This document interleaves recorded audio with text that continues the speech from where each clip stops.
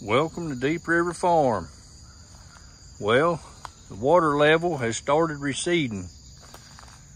It's been up here though. Look at it. Look where it's pushed all these leaves and stuff up here. It was all the way up to the back of this log here and a little beyond. I mean to tell you, it has been up. The highest I've seen it. And it's come down a little bit at least these trees here are uh, getting back to where uh, they're not soaked uh, around the trunk of the tree here. But the lake level is still way up. It's got a ways to go. I can hear it going over the top of the dam still, rushing. It's really going. But uh, maybe by Monday, it'll be back down to its normal height and uh, get in here and clean up all this trash. Aggravating having to do this all the time when we get big rains. It, stuff comes down the river and piles up and we get the uh, the effect of all the trash. But uh, we got nine inches of rain. That's what we wound up with, folks. Nine inches here at Deep River Farm and we uh, we glad to see Hurricane Debby out of here. We are glad that thing is gone. It hadn't been done nothing but rain since last Thursday, and uh, it finally moved out yesterday, and uh, we're glad it's gone. Got a little do a, a little debris to clean up here we got a tree down. We This is where we're trying to expand our chicken lot. And we got to get this tree top out. It has fallen, but it wasn't during this hurricane.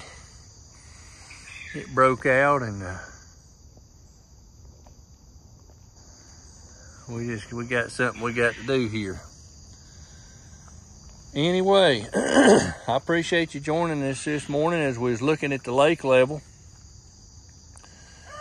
I got to get I got to get busy on uh, expand, extending our chicken lot, and making a big run for the chickens. That's what we got these fence panels out here for. They make an excellent uh, secure area for your chickens. They high enough that uh, you know they're not going to fly over it or anything, and sturdy enough. And putting T-post in between the the ends here and uh, tie to them, help stabilize them. They're high enough the chickens won't fly over them.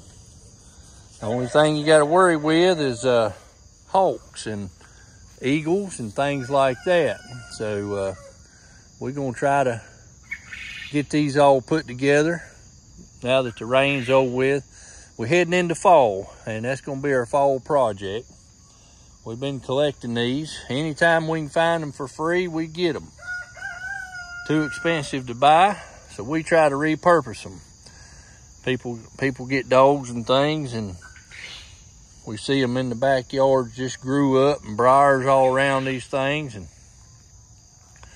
so we uh, we'll check and see if they want to get rid of them. Sometimes they'll they want to sell them, and sometimes they'll just just we'll just give them to you if you'll clean that lot up. Well, that don't take but a little bit. Get it tore down, get the weeds out of it, get it moved, and go in there with a weed eater and go to town. So uh, that's what we do. We don't uh, we don't get rid of much. See, we we tore down an old building up here, and we've saved all of the lumber for from it, and we're gonna we're gonna use this.